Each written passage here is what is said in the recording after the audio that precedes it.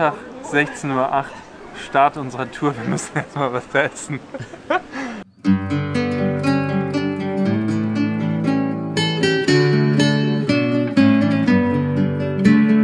Ahoi Freunde und herzlich willkommen. Wir sind in Flensburg angelandet und jetzt wird es Zeit in den See zu stechen. Wir werden richtig schön auf Oldschool angelehnt mit Fixie durch die Gegend brettern, werden euch ein paar schöne Shelterplätze in Dänemark zeigen. Ich freue mich sehr drauf. Ich hoffe, es gibt das ein oder andere Lagerfeuer, vielleicht abends auch ein bisschen kochen. Alles auf ganz Suche und entspannt. Also das wird jetzt nicht höher, schneller, weiter, sondern genau das Gegenteil davon. Wir haben angefangen, wir sind Kilometer vom Bahnhof hierher gefahren. Oder ich würde sagen, jetzt geht's über die Grenze Richtung Dänemark, immer schön am Wasser entlang. Viel Spaß und ähm, ja, genießt es. Ich dachte gerade, Digga, die Stimme kann nicht. Oh, du bist so schön warm. Ja. Nee, wir wollen zu Anis Kiosk gleich. Oh. Also dann Da fahren so, wir auch vorbei. In so einer Hütte pennen. 18.30 fahren wir los. Ah, witzig, Alter. Dass wir uns in Flensburg sehen, ey. Geil. Ja, Max, was sagst du? Was, was meine Heimat? Das ist schön hier. Also ich habe ja eine ganze Zeit lang in Mürwik immer gewohnt da. In den Ferien. Ich war ganz oft hier immer. Es ist schön hier. Und in Harrislee war ich früher mal Skateboard fahren. Ja, also ich kenne mich ja eigentlich auch aus. Ich finde das hier schön. Einfach unvorhergesagt gutes Wetter. Das ist auch chillig hier, ne? Mann, ey. Was für eine geile Stadt. Ja, und ich habe mich sehr auf diese Tour gefreut, gemeinsam mit Malte unterwegs zu sein. Und es hat mich total an meine ersten Fixie-Touren erinnert, wo ich damals von Hamburg Alter, aus so nach schön, Malmö, nach Oslo gefahren bin. Und ja, so sind wir über die ersten Brücken gefahren Nee, und waren dann auch schon recht schnell in Dänemark. Ja, Freunde, entspanntes Setup. 23 mm. Der Reifen hält, Alter. Auch bei dem Schotter hier. Geil, Mann. Das erinnert mich so an meine ersten Touren, wo ich gestartet bin. Ähm, wir haben kein Zelt dabei, das heißt, wir sind tatsächlich so ein bisschen auf die Shelterplätze angewiesen. Und schwupps, die ersten Meter geht's hier brutal steil nach oben. Da steige ich ab, da kenne ich nichts. Ah, geil, ey. ich freue mich, freue mich richtig, wenn wir so einen geilen Platz zum Übernachten finden. Das wäre richtig schön.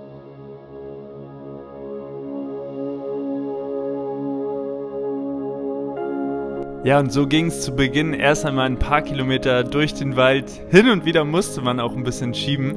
Aber gleichzeitig war einfach dieses Gefühl, ey, okay, wir sind komplett ohne Druck unterwegs. Wir haben überhaupt keinen Plan. Alles, was wir brauchten, haben wir irgendwie dabei und jetzt lassen wir es einfach auf uns zukommen.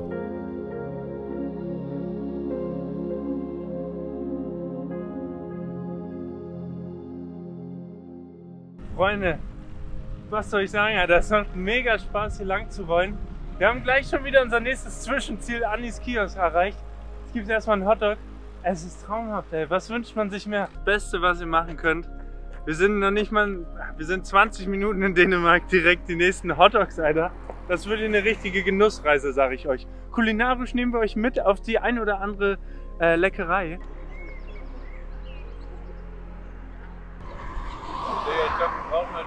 Kochen, ey.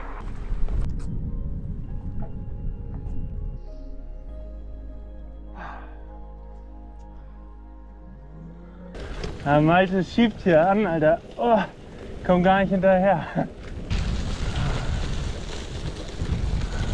Hi. Ihr habt's gesehen, der erste Shelterplatz war leider voll. Das hier wäre unser Strandaufgang am Morgen gewesen. Oh, alright. Viel Spaß. Ja, wir sind jetzt hier in so einem Pavillon gelandet, weil der Shelterplatz, oh Wunder, auch schon wieder voll war. Können wir im Prinzip auch für die erste Nacht hier bleiben. Wenn ihr euch umdreht, da ist direkt das Wasser. Hat halt nur so ein bisschen Spielplatz-Vibes, aber naja. Die Frage ist, wenn wir jetzt nach Weihnachten fahren, so einen Spot finden wir schon auch nochmal, oder? Ich hab die so lange, bis wir hier bleiben. Äh, wir lassen jetzt die gute 2-Euro-Münze entscheiden, was wir machen sollen. Ob äh, wir bei Zahl hier bleiben oder bei Kopf weiter nach einem richtigen Shelter-Spot suchen. Scheiße. Fahren wir weiter? Nochmal. Was aus hier, oder? Hier ist keine Hütte. Ja. Malte hat auch tatsächlich sich nicht lumpen lassen, hat gesagt, Max, Alter, komm, wir fahren weiter, wir werfen eine Münze und guckt euch das an. Das sieht doch schon gar nicht mehr nach Spielplatz aus, sondern nach richtigem Spielplatz. Wir haben hier richtig schön eine Holzbank. Präsentiere hier Malte und schaut euch das an. Hier, Feuerstelle. Da müssen wir gleich noch was besorgen hier. Boom, Alter. Jetzt kommt noch die Sunshine raus. Und hier vorne direkt das Meer, Alter. Junge, es ist so nice. Jetzt müssen wir nur Schnick, Schnack, Schnuck machen, wer hier zu Netto nochmal fährt, ne? What do I believe? Makes me feel wir? Wo wollen it wir hin? Wollen wir da to write you this song. Two hours a day, five months and a year. Oh, I loved you too long. You keep blowing me out, I keep holding you in. Ey, ist das ein Spot? Freunde, ist das nicht schön? Was wünscht man sich mehr? Jetzt liegen wir direkt am Wasser, unter freiem Himmel, hoffen darauf, dass es nicht regnen wird und genießen einfach die Natur hier draußen. Ja, ich dachte, ich bastel mal ein bisschen. Guck mal, das, das geht sogar, krass. Geil. Also ich habe hier so ein paar richtig ich habe so ein paar richtig große Brocken gesucht und ansonsten saß ich die ganze Zeit hier auf dem Stein, habe einfach, hab mir einfach den Sonnenuntergang angeschaut. Und ich freue mich gleich schön noch ein bisschen so 5 Minuten Terrine da machen. Herrlich. I cannot decide, cause I'm sober tonight. Prost. Tschüss. beim Pennen, Alter. Es ist nicht nur mein erster Overnighter, sondern auch mein erster Overnighter gleich mit Max. Und was ich jetzt schon gelernt habe, ist, dass Max unglaublich gerne Feuer macht. ich muss mich um nichts kümmern. Das ist, das ist wundervoll. Geil, ey. Der rennt hier seit eineinhalb Stunden durch den Wald und sucht, sucht tote Bäume. ey, dieser Ort ist so schön. Max möchte, dass man uns bis nach Deutschland sieht. Damit ihr in Flensburg wissen, dass es uns gut geht. Ja, ich wollte sagen, wenn ihr in Flensburg seid und seht, sagt Bescheid.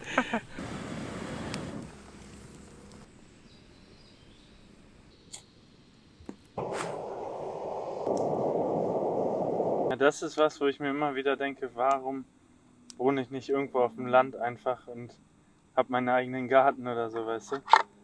Mit Feuerstelle. Dann würde ich da jeden Tag sitzen. Ich bin super dankbar für den ja, ersten Tag ist es ja gar nicht. Wir sind ja gerade erst losgefahren, sind seit ein paar Stunden überhaupt erst auf Achse, aber äh, wir saßen eben auch schon zusammen und haben so gesagt, ist eigentlich so faszinierend, wie schnell man raus ist, raus aus allem und alles ist einfach vorbei. Es ist komplette Stille und ich finde, also mir macht es immer super viel Spaß, ins Tun zu kommen. Das heißt, irgendwo in den Wald zu gehen, einfach Holz zu sammeln, Feuer zu machen, irgendwie eine Aufgabe zu haben und einfach nur hier draußen zu sein. Es braucht so wenig äh, aus meiner Sicht, um hier irgendwie äh, eine gute Zeit zu haben.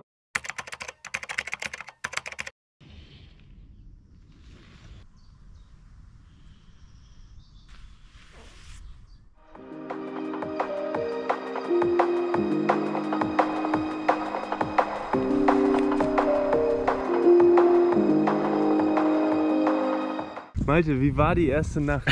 Überraschend gut, dafür, dass ich das noch nie gemacht habe. Wir wurden ein bisschen vom Regen überrascht. Max hat gestern Abend noch ganz entspannt gesagt, ja, ja, klare Nacht, gar kein Problem. Konnten eh nichts machen. also äh, haben wir uns einfach unserem Schicksal gegeben. Ich habe mich kurz unter diese Bank, was heißt kurz, ich, hab, ich bin umgezogen, habe meine Matratze unter die Bank gelegt. Ist auch ein neuer Tiefpunkt, aber es war ganz geil. Heute hoffen wir darauf, dass wir so eine richtige Hütte abbekommen. Wir sind, wie ihr seht, es ist 10 vor 10. Wir sind deutlich früher unterwegs als gestern. Äh, Wir werden jetzt erstmal ein Café in Sönderborg ansteuern. Malte braucht auf jeden Fall was, um in Gang zu kommen und ich brauche Strom. Gucken, dass wir einen tollen Overnighter-Spot dieses Mal finden und den früh genug besetzen, Alter, weil das ist hier echt wie so eine Hausbesetzung. Man muss hier echt früh da sein, sonst ist halt schon eine andere Großfamilie da. Sonst hat irgendein Deutscher sein Handtuch dahin geworfen und die Hütte ist weg. In diesem Sinne, Leute. Ah.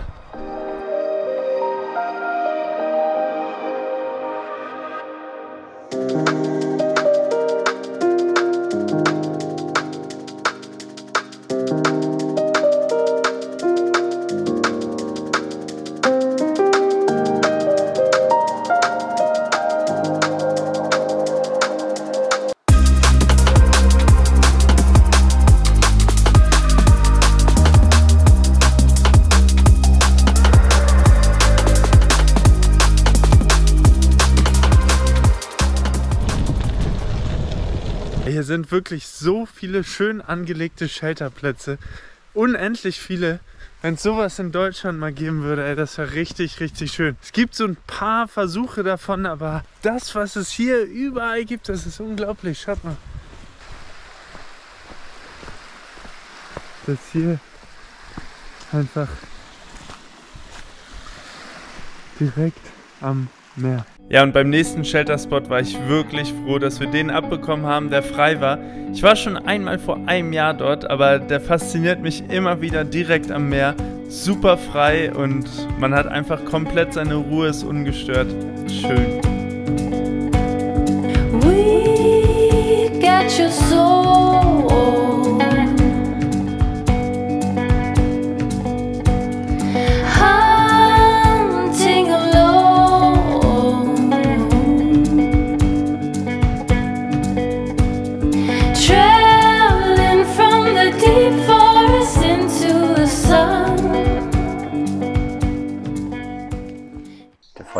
Macht wieder Feuer, kümmert sich um alles. Ich kann hier warten, bis das Ding in Flammen steht. Ich komme vor wie auf so, ein, auf so einem Grillfest, weißt du, da so ein Osterfeuer, was schon mittags beginnt. Und so die Leute stehen hier rundherum so, na und? Ja, läuft, ne? Ja. So ungefähr, weißt du? Also ich weiß nicht, aber Feuer fasziniert mich so sehr. Ich könnte da Stunden, also ich sitze da stundenlang, ich könnte nicht nur, ich mache es. Ähm, ich hoffe, dass das gleich noch da ist, Malte. Ich werde jetzt mal schnell losfahren. Oh, oh.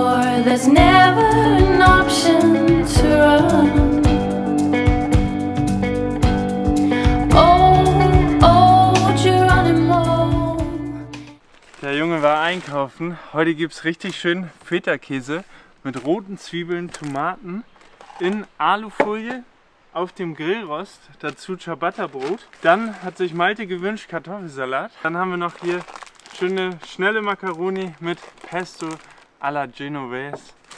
Und äh, dazu noch ein paar Kaltgetränke.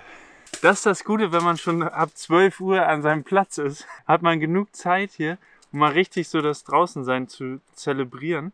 Schaut mal, ein Paket haben wir schon fertig gemacht. Und hier ist das zweite.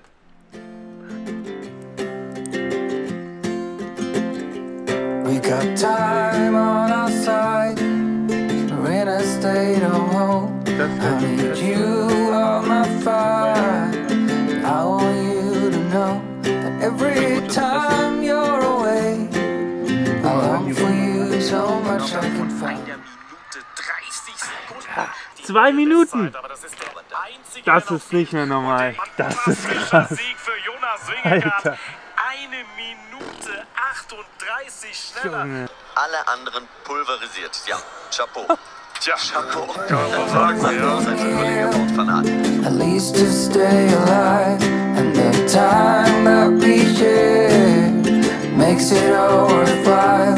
Got this place on our own. Do you feel that we got something strong? And I saw you. Freunde, der zweite Tag neigt sich dem Ende. Zwei von zwei Sonnenuntergängen mitgenommen. Auch wieder ein wunderschöner Spot direkt am Wasser. Aber es ist einfach schön, keine 48 Stunden unterwegs und man hat das Gefühl, einem wurde komplett der Stecker gezogen. Man ist richtig entschleunigt. Aber Malte und ich, wir haben auch schon gesagt, morgen werden wir mal wieder ein bisschen Fahrt aufnehmen. Ja, und dann haben wir noch weiter Feuerholz gesucht. Und dann kamen doch tatsächlich um 22 Uhr noch mal ein paar Leute vorbei. Aber auch super entspannte Typen aus Belgien. And where's where's your goal? Where are you going? Maybe Cap Nord, but, Oh, Really? Wow. but I have a little fat to lose, so Yeah. perfect. how much time do you guys have for the? Uh, me, end of sep- September, if I Ah, wow. want, but I can. Yeah. Ah, you, you are from Hamburg? Yeah, yeah. Ah, I skate in Hamburg. Skate Skate next the old theater. at the Rote Flora. Yeah. Yes. Oh wow. Yeah. Nice. Yeah. I, I've been there too with uh, skateboarding Ah. also. That with you I feel alive.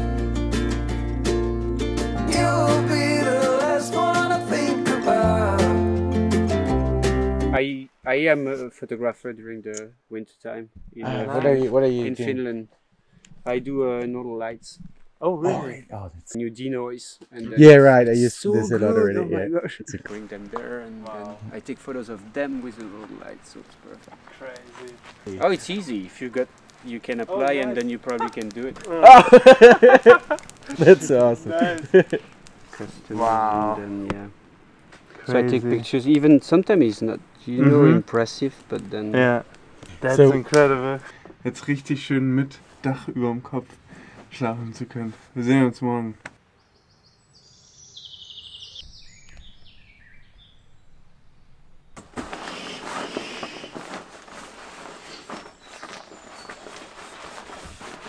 Und jetzt meine Badehose, mein T-Shirt. Das Paar Socken hatte ich jetzt zwei Tage an. Heute ist Zeit für ein neues. Jetzt erstmal aus dem Wald gerade Fährtickets geholt. Wir wollen weiter und wir können noch nicht. Wir müssen warten. Seit, seit wann stehen wir hier so übermotiviert? Äh, über eine halbe Stunde. Über eine halbe? Wir sind hier vor, wir sind um 8.30 Uhr hier gewesen, mein Freund. Digga, echt? Ja, Dann stehen wir hier schon weit über eine Stunde. was für ein guter Dialog, Alter. Aber ich nutze die Zeit. Ja, wo ladet ihr denn euren Kram? Hier habe ich einfach direkt neben dem Drucker mein Handy ab angeschlossen in der Wartehalle. Ja, also langsam machen wir weiter, ne? Der Hintern kribbelt. Kann losgehen. You made me so light, rushing like wind.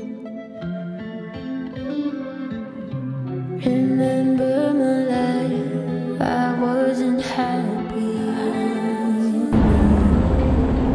Angekommen in Beuden, Böden, keine Ahnung. Und jetzt geht's hier Richtung Svendborg. Hier kommen ein paar Höhenmeter zusammen auf jeden Fall. Oh, bestimmt drücke ich hier gerade mit 400, 500 Watt hoch, um irgendwie in Gang zu bleiben. 48, 15, ja, ist vielleicht doch zu stark für so ein paar Hügel. Frank the Tank.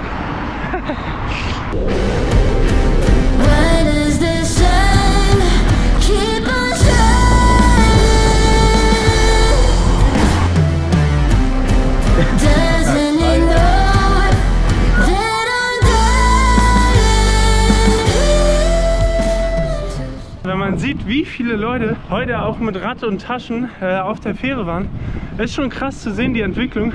Aber gleichzeitig irgendwie auch cool, äh, dass so viele Leute Bock darauf haben, äh, so unterwegs zu sein. Ist mega.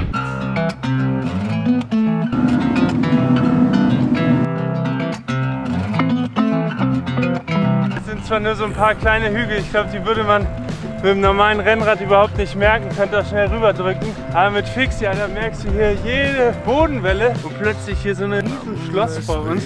Ultra schöne Tiny Häuser, die wir gerade schon gesehen haben. No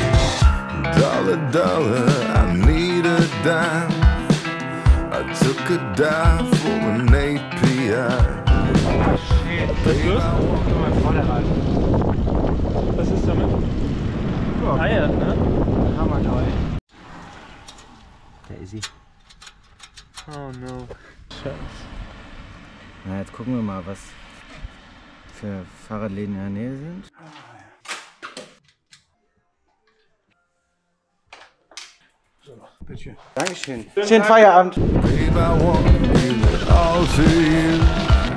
Give it all to me, babe, and I give it all to you.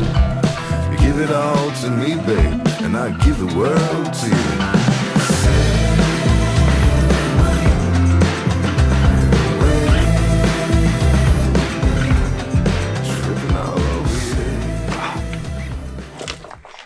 Oh, geil. Von seinen Nachbarn. Erdbeeren mit Marshmallows und Keks dazu. Nice that here are so many spots Yeah. around. That's like really beautiful. Now, especially with the water. There's Mhm. very many places Yeah. around. I think the first time I was in shelter with my boys. Wow, you are 12 now. Oh, five, four, five. wow. And no, uh, we uh, we have uh, the bike with us. We were in Jutland. Oh, Jutland. Ah, okay. Yeah. So that's We have se- seen many Mhm. younger. Yeah, there's Yeah. many young people and Mhm. shelters around. Yeah. and many many cyclists. Like Ja. Es regnet, aber wir wollen den, das Zeug jetzt hier spülen. Wir müssen unseren Pesto Brand und die Nudeln jetzt hier sauber machen. Und mittlerweile würde ich fast behaupten, habe ich jetzt das Selbstbewusstseinslevel, dass ich sogar hier an der Rezeption fragen würde, hey, können wir das hier irgendwo bei euch waschen? Normalerweise bin ich super der introvertierte und schüchterne Typ. Prinzipiell habe ich immer erstmal ein bisschen Sorge. Ich will einfach nur putzen. Wir probieren das jetzt mal. Haben wir tatsächlich doch noch einen dritten Sonnenuntergang? Wer hätte das gedacht?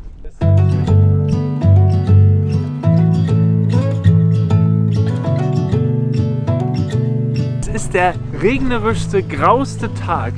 Ihr seht den ganzen Tag die Sonne nicht. Und jetzt schallert die hier so raus, Mann. Dritter Tag in Folge, dass wir den Sonnenuntergang mitnehmen. Malte noch vorher so, oh, das Wetter, wer weiß, wie es wird. Schaut euch das an, ist das nicht schön? I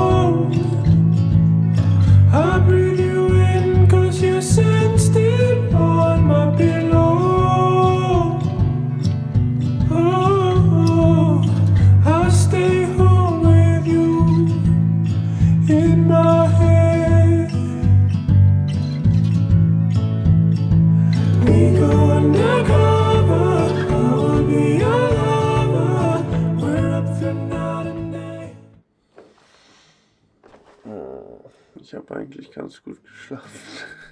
Ja, und am nächsten Tag wachst du auf und deine Shelter-Nachbarn machen uns einfach frische Pancakes morgens zum Frühstück. I'm here to take a bullet, standing by your side. I'll do anything for you, anytime. I'll carry you on my shoulders, a little heavy as time goes by.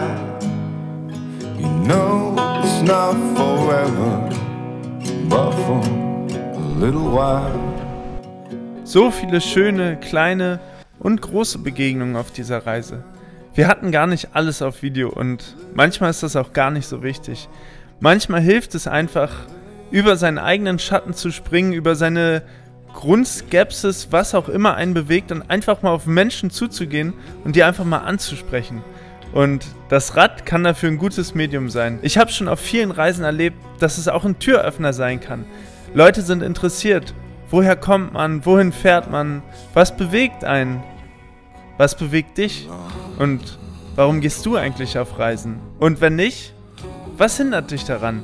Was hält dich auf? Wovor hast du Angst? Und was ist es, dass du den Schritt wagen musst, dass du sagst, ey, ich entdecke jetzt einfach mal die Gegend um mich herum?